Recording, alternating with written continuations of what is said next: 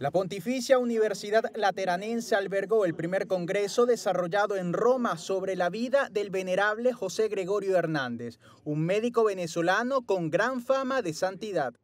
Lo que es esta gran figura de un gran laico médico que trabajó y murió pues el servicio, el servicio de los pobres y que esperamos pues que a través de la oración y del cariño podamos tenerlo muy pronto en los altares.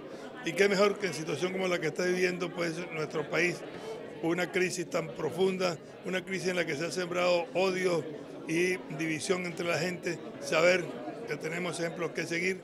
Vivió entre los años 1864 y 1919.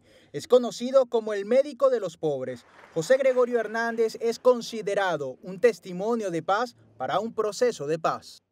Es eh, un factor de, de, unión y de unidad en el pueblo venezolano, porque todo el mundo se reconoce en él, todo el mundo lo acepta, todo el mundo lo quiere, y entonces de veras puede ser, digamos, un elemento que aglutina y que une a todos los venezolanos en estos momentos también de dificultades, de divisiones.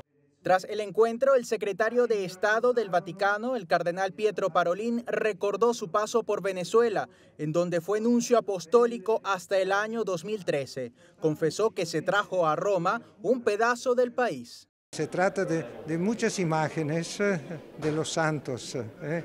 La mayoría de ellas son José Gregorio Hernández y la Virgen de Coromoto, y ahí lo tengo, como he dicho, todo fuera de mi recámara, de mi cuarto, entonces cuando salgo y cuando entro siempre lo veo, y esto es una razón para pensar en Venezuela.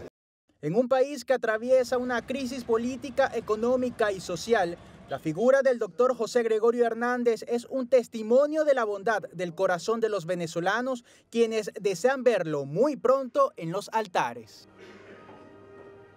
Desde hace 15 años te contamos todos los días la última hora de lo que ocurre por estas calles y queremos seguir creciendo. Queremos ofrecerte nuevas historias, queremos ofrecerte nuevos servicios, queremos ofrecerte nuevos reportajes. Por eso te pido que te suscribas al servicio ROM Reports Premium. Y es muy fácil y es un modo de apoyar nuestro trabajo periodístico. Basta tener tu celular en mano, descargarte la aplicación ROM Reports Premium en español o en inglés y comenzar a disfrutar de todos los servicios. Queremos crecer contigo.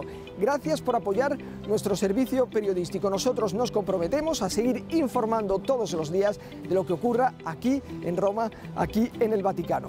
Muchas gracias.